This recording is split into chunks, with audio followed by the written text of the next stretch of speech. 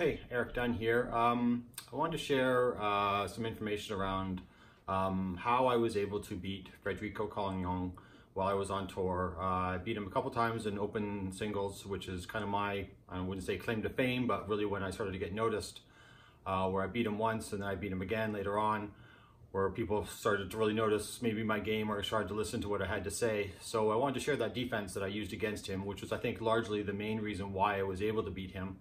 Uh, I was able to score against him as well, which helped, but definitely it was the defense I was using. And I played against him. It was in a draw, so we, uh, I really encourage you whenever you have the opportunity to play in draws, uh, draw your partners, because um, it's definitely a place that you can actually play these high-ranked players, and you can really get that opportunity and experience to play against them and maybe try some things and kind of experiment and see what works and what doesn't, so that you can maybe learn something and bring it into the uh, more open or more important events. Um, so we were in a draw. Uh, I was the goalie on this one team and he was playing with someone else and he was the forward. Um, I was doing my defense. I already had a really good defense against a lot of players. Um, but what he showed me very quickly uh, was that um, my traditional defense of a bait and switch defense, the traditional I'm going to mess with your mind kind of defense, just did not work against him. Um, he was able to read what I was doing so quickly, react to it, and actually beat me to my baits. He was actually able to beat me to what I was trying to do. He shot where I wanted, shot when I wanted. He fell from my baits, but then in the end, he actually beat me. So I'm going to demonstrate that now and, and talk about that on the uh, table. You know, kind of when you do a bait defense, say for example, say I'm baiting for this uh, his his pull side, this side here. Um, so you might go like uh, show, show, it to him, show it to him, but then not, or show it to him, show it to him, and then not, like you kind of thing. You might kind of do something like that. Well, it became very apparent that I would do that and it was, I remember it pretty clearly. It was during, I think it was a draw, something like that. So something where I could experiment with some things, where I showed him the thing, showed him the thing, and then switched, and he was able to beat the bait. Um, remember, I showed it, you know, showed it, and then switched, and he, he was able to beat it. He didn't hit dead bar, he was able to just be so fast and time it so well that uh, I, you know I called timeout. I was like, you know, I set up the bait. I did exactly what, what I wanted to do.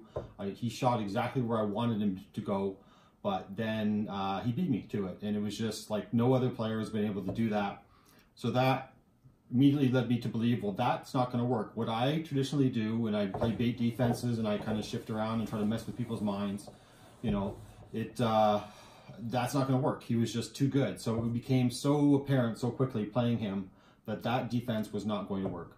Um, so that led me to kind of start to try other, other defenses uh, uh, against him. So one of the ones I tried was uh, what, uh, I don't know, I, I called it uh, play different songs in uh, your head kind of defense.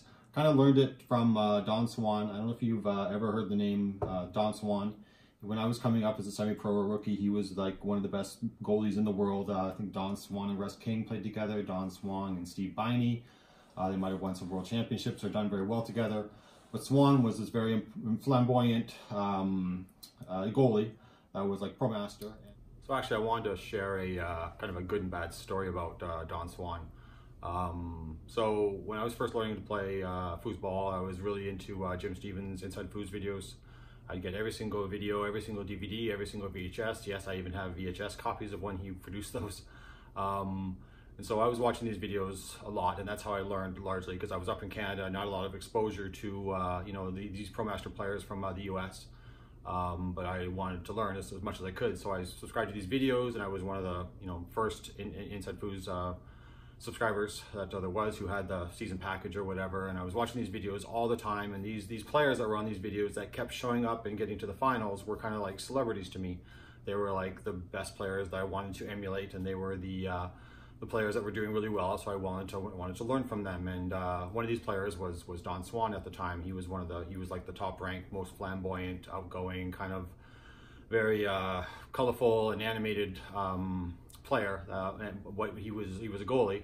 Um, so I wanted to learn from you know from this. So uh, I was watching these videos a lot, and then I got the opportunity to go to a tournament. I think I got on a bus and went down to somewhere in uh, eastern states, somewhere like that. Um, and uh, I was at this tournament, and uh, I was warming up, and uh, Don Swan was there. So this was like, oh wow, these these big players are here. I, you know, me, that's kind of cool.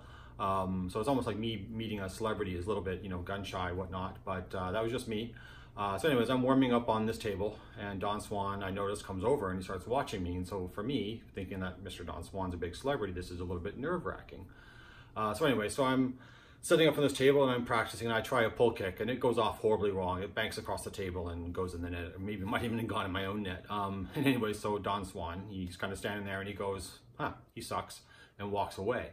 And so as you can imagine, I felt like this big. It was really hurtful. It was like kind of like I wouldn't say a hero of mine, but a celebrity, someone I was following and looking up to. So that was a little bit hurtful and maybe a little bit of a learning lesson for me that these are just people and they have good and bad attitudes, but still there's things of value to be learned from them. Like they have the skills, they have the experience.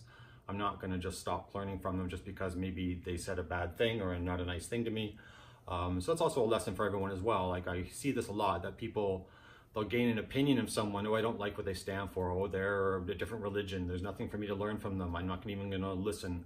But that's such a, you're missing out on such a great opportunity to learn from other people that have had that experience, that might have that knowledge that you can learn from. You don't have to subscribe or enjoy or do the same things they do, but you can learn from them, uh, good and bad, uh, what not to do and what to do. Um, so anyway, so that was one of the things I learned from, uh, or I had an interaction with Don Swan. It was interesting.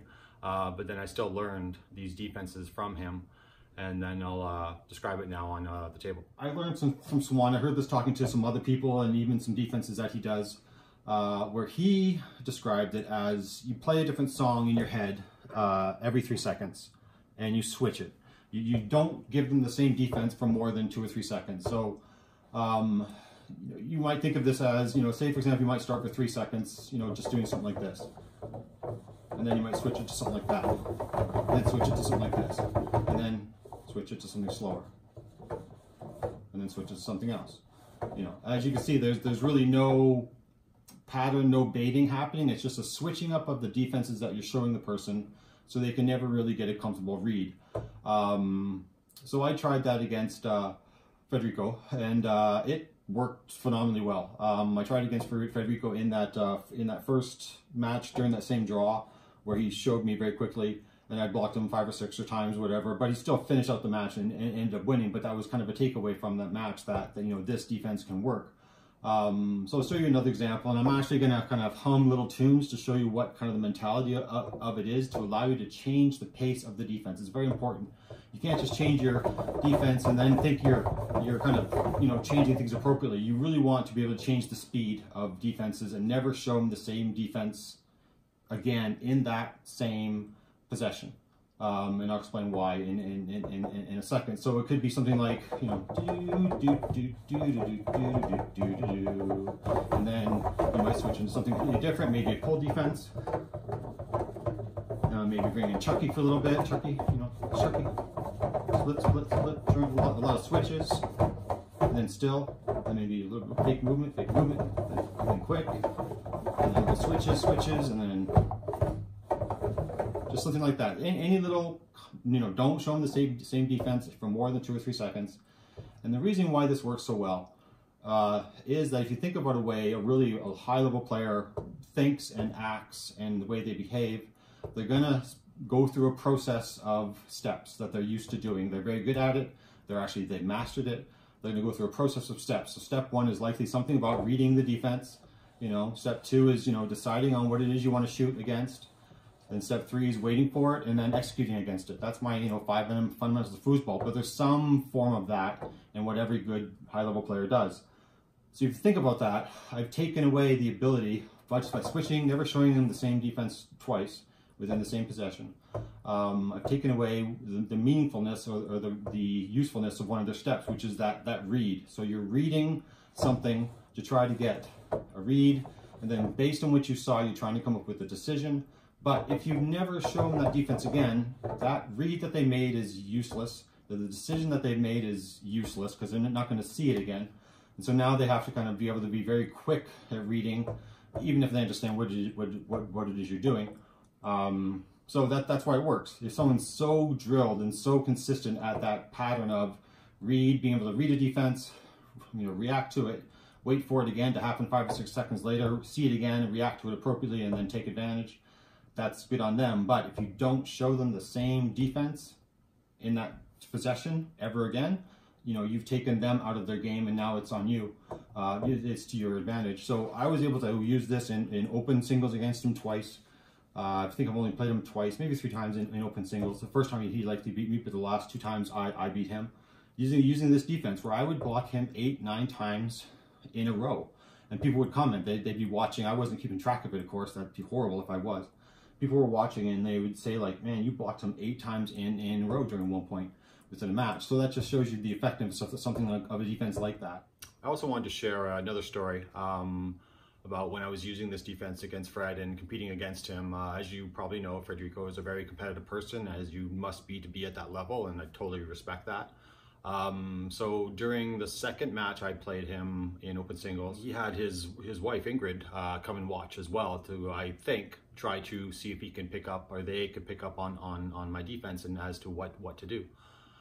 Um, so I remember Tommy Adkisson was refing that match, and uh, we're playing playing away and Tommy, um, I think, catches them actually spotting. So what, what spotting is, is something that's, that's actually illegal. That's when one player is watching on the outside and giving signals to the player who's playing um, to tell them what to do. Uh, so that, that that's illegal. It's like, like kind of like good strategy to me, but that is one of the rules that, that is illegal. So it's actually a little bit um, funny and semi-rewarding that they felt they needed to do that. It didn't work. It didn't change anything. I still beat them neither of them could figure out that defense because as I'll explain, because as I explained, that defense is so about there's no pattern. It says I'm switching the defense every three seconds. If you don't catch advantage of it then, you're not going to see it again in that possession. So there's really nothing really to read, and that's just not what they were used to. So I remember Tommy, I think, gave them a warning to actually uh, stop stop spotting. Um, so it just gives you an indication of one, uh, what the top level players do when they are that competitive. They they do everything they can in order to win, which is great. I'm not saying that's a bad thing.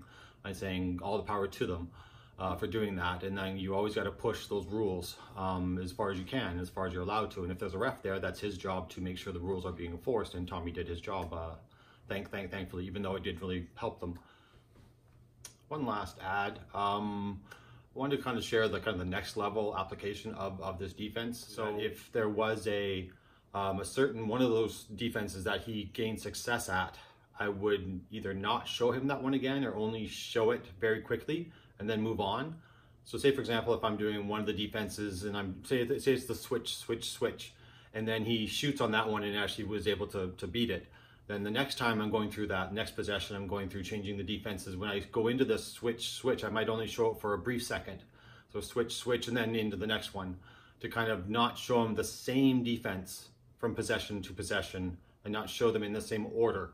So, you know, you can have to apply these concepts to switch things up, keep them off their guard. If they're gaining success, don't show them that, move away from it, don't fight it. Uh, don't keep trying to butt your head against that. Don't don't think, oh, this is my defense, I have to make it work. Um, don't be shy, don't be afraid to move on to something else, try something else. Uh, and that's how you're gonna find out if things are working or not. If you keep doing the same thing and keep not finding success, what have you learned? You've just learned that that doesn't work.